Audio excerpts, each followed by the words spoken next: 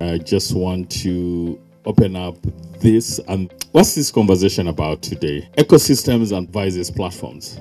What is the future?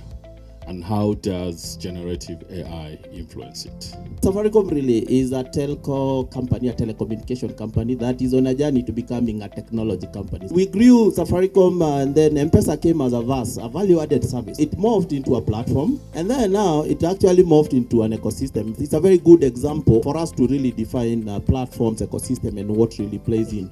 I think the platform for me, it's something that will help to his delivery ecosystem is the fact that okay in my platform i have a lot of things that i can integrate. And there are three ways of actually implementing a platform.